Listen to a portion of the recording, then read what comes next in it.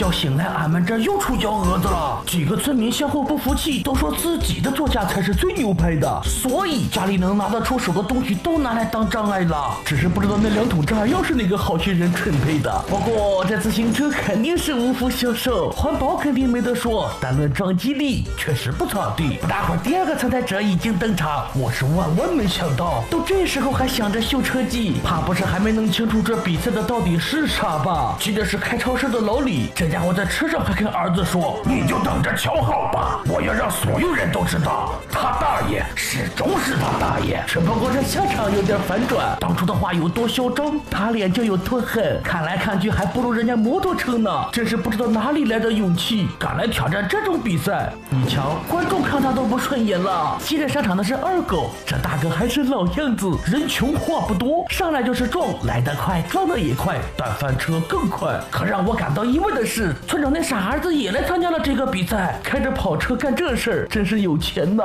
不过也让我明白了一个道理，只要速度快，自身的重量就能增加。如果不是这么快的速度，根本不可能撞倒最后这面墙。只是这车肯定报废了。哎哎哎哎，这是几个意思啊？这是追罪犯，还是这小子报了名不想参加比赛，被巡逻车逼着来了？反正不管是出于哪种目的，总之这效果还是不错的。三辆车就是三倍快乐，这威力也是不同凡响。越野车撞不倒的，巡逻车还能在后面帮忙，最后竟然把墙还撞倒了，厉害！只不过到刚单的时候，这小子竟然玩起了漂移。他知道自己有几斤几两，所以想用汽车的惯性横着把障碍撞完。只不过这速度确实不如人家跑车，所以没成功，可惜了。但人家也成功保住了自己的爱车，板板金喷喷漆，又是一辆新车。就这种比赛，脑子没有大坑的人还真想不起来。小伙伴们觉得呢？好了，今天的视频就到这儿了。我是爱玩游戏的蚂蚁哥，关注我，天天带你打游戏。